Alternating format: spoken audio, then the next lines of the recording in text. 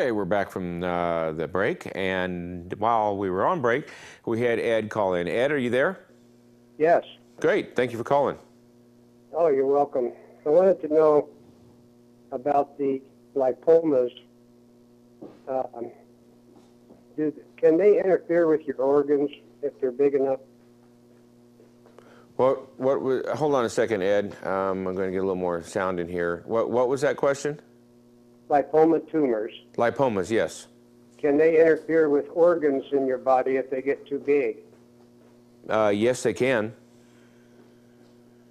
And is that dangerous or? Well, lipomas usually are surface um, tissues, basically by the nature. They're basically a, a fibrous tissue inside. Usually, what happens is you bleed subcutaneously, and that bleeding uh, tends to form scar tissue, and that scar tissue will uh, encapsulate fat and form a globule, and then that will form a lipoma. In rare cases, you might get a liposarcoma, meaning uh, a, a tumor uh, out of that, but that would be something that you would notice because the tumor, the, the the, the lipoma will continue to grow in size. Most lipomas usually are appear and then they stay at that particular size. They might enlarge depending on what your body does over time. Did but, I understand you right? Uh, did you say that they start because of bleeding? It, it's basically an encapsulation. Lipomas are what you would call fibrous tissue that, that encapsulates or uh, comes together. Normally, fat is very confluent. It's like a, uh, a water. It's just like a gel.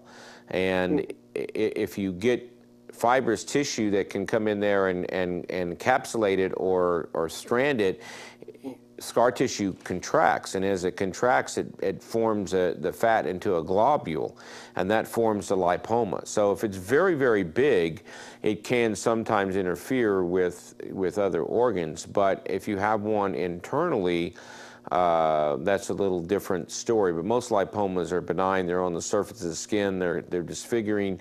Um, uh, they might be painful if they press against certain bony prominences. Uh, they usually don't cause much of a problem, uh, and they usually remain stable, but there are exceptions to every rule. So, what what what can you do to prevent if you have the operation? I've had a couple of operations, but they grow back. Yes. Um, well, in, in that particular case, the, probably the trauma from the actual uh, removal may actually cause more bleeding under the skin, and then it can you know, a uh, thing of that of that fat. Uh, basically, it's kind of a I don't I don't want to say it, you know whenever you cut into the skin you're going to bleed under the skin and that subcutaneous bleeding can cause maybe more scar tissue so while you do remove it more fat fills in and there's more scar tissue and that may be the process that takes place that allows it to reoccur. Oh brother. Okay, well thank you for that information. You're welcome Ed. Thank you for calling.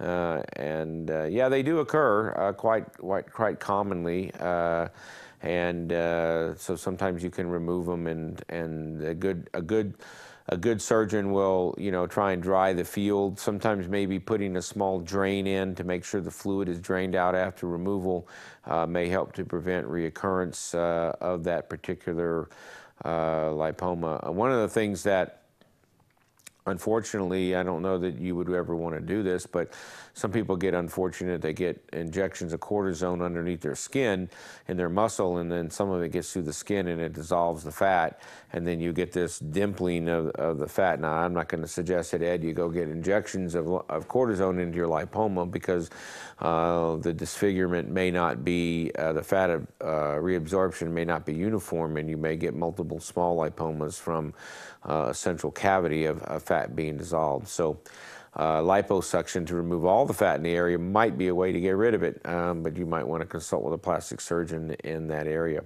Uh, okay, so back to the discussion of uh, GERD and, and esophageal reflux. We were talking about um, COPD, we're talking about the treatment uh, using the proton pump inhibitors, uh, using calcium citrate. Uh, the other thing that uh, if you're taking ca- take calcium citrate, if you're taking those, if you need calcium, because the meprazoles of the world do interfere with calcium absorption. Um, most of the time, if you're still having trouble with a little bit of the um, just using Pepcid, or if you're using omeprazole over the counter, you can add the Pepcid and you get the one-two punch. Uh, I talked about H. pylori. H. pylori is a bacteria um, that uh, exists in our stomach. So if you happen to have a gastric ulcer, it's very important that you get tested for H. pylori. And if you've ever had an EGD, uh, as um, uh, one person said, they, if they go down into your esophagus and look there, they will sample and look for uh, uh, H. pylori. Uh, they'll either do a sampling or a culture or a stain. That bacteria, if it is there, does need to be treated. There is a breath test for it. Uh, and uh, it is has been linked to ulcerative disease and increasing acid reflux. Unfortunately, you can treat it. Uh, it does need to be treated one time. Uh, it does need to be treated multiple times uh, with a, a, course of an antibiotic and some Pepto-Bismol and a um, they call it a Prevpac. Uh, there's multiple antibiotics and um, so if you do have that problem, it is important that you do get the H. pylori test to make sure that you don't have that. And if you don't, great. And if you do, it's treated. And that, that case is uh, usually closed at that point. Uh, your memory or your body will remember the H. pylori infection for some time to come. So it is important for you to be tested once and only be treated once. It does not uh, reoccur. Uh, as far as I understand it, um, and so it's just a one-time one-time treatment.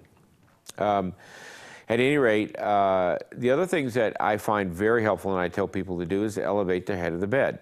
Uh, elevating the head of your bed, uh, and that doesn't mean everybody says this to me. They say, "Oh, I sleep on two pillows." Well, mm, you don't always wake up on the two pillows. Your body tosses and turning all during the night. So what I suggest is you get a two by four block and you turn it on its small side, not the high side, and you basically will raise your bed one and three quarters of an inch uh, under the head post, and uh, you uh, wait for that to acclimate, usually over a couple of weeks, and then you um, we'll uh, then add the other block. So you'll be about three inches. And that does a lot to uh, cause an incline, causing your stomach to, to stay down. Your contents will help stay down uh, into your stomach. So we have John on the phone. John. Yes, doctor. How you doing tonight? I'm doing okay. I, I'm, I'm glad that I saw you on the TV for a change. I, I didn't know that there was a local doctor we could talk to. Well, I'm glad you found that out and called. I'm a, I'm a veteran, and uh, we have new rules now for veterans. We had there's two of them.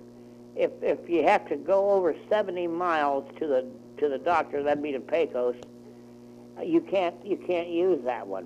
Hmm. But the other one is we can use any doctor if it takes more than 30 days to go to Pecos. So I want to know if you have a doctor available for ear, nose, and throats because I've had stomach problems for oh, well, probably a year and a half. I, I, believe there is a Dr. Becker that comes up here. I don't know if he's. Oh yes, yes, once a month. Uh, yeah. Okay. Well, that was my, my question. If we, we had uh, someone besides him up here. Yeah, I don't think so. I, I didn't think so either. All right, doctor. Well. Uh, I'm having severe problems, and I have a good uh, VA uh, doctor. He's a PA, but he's been he's been my doctor for about 12 years here in Pahrump. Good. But he can't. But he cannot do anything because his hands are tied. Oh. So we have to make. We have, if you're a veteran, you have to make a, a schedule with a local doctor. Now that Dr. Becker, I'll have to pay for that, but that's that's okay. Why do you have to pay for that? Well, it's healthcare partners. Oh, oh. Well, I would think the, the issue is now the VA is going to pay those doctors before the VA didn't. Well, what happens is I had a, a colonoscopy done, at the uh, local hospital here, Mm-hmm. and it took me about uh, eight months, but uh, the VA did pay for it. Okay. So well, I'll, I'll check into the and ask when I see my doctor on the 22nd. I'll Yeah. make an appointment for Dr. Becker also. Yeah, I, I would think that if they changed the rules, they also changed the payment rules to coincide with that, so that uh, healthcare partners would bill the VA maybe a Medicare rate and be able to collect that uh, to collect that money, uh, and that's basically the the issue. So uh, I would call. You know, healthcare partners, call Becker, call whoever you need to call, and uh, see what you can find out. Thank you, doctor. I, I really need a specialist because uh, I have everything that you, you were describing in my stomach uh, for a long, long time. Well, good. I'm, I'm hoping you get into somebody really quick. Thank you. Thank you, doctor. Yeah, thank you, John, for calling in. Appreciate it.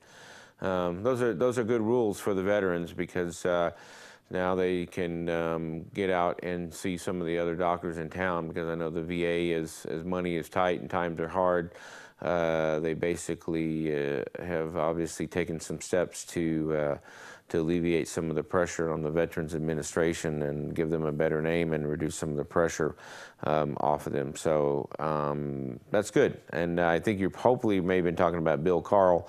Um, if that's the case, I worked with Bill. He's uh, a very nice gentleman, very attentive to his patients, and has a good history of taking care of his people. So um, you, you, you're in good hands there. Um, anyway, we're going to be uh, shortly going to break, and uh, we'll be coming back, and then we'll be talking a little bit more about GERD, uh, finishing up a few of the details. We were talking about elevating the head of your bed um, and getting a couple of two by fours in there. It's certainly a lot cheaper, as I told one patient, than a sleep number bed. Uh, so we'll be right back. Thank you very much.